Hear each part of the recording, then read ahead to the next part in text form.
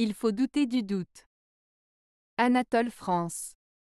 La citation Il faut douter du doute d'Anatole France signifie qu'il est important de remettre en question ses propres doutes et réserves.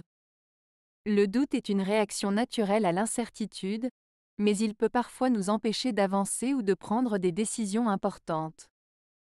C'est pour cela qu'il est crucial de remettre constamment en question ces doutes pour éviter qu'ils ne nous bloquent ou nous écartent de nos objectifs.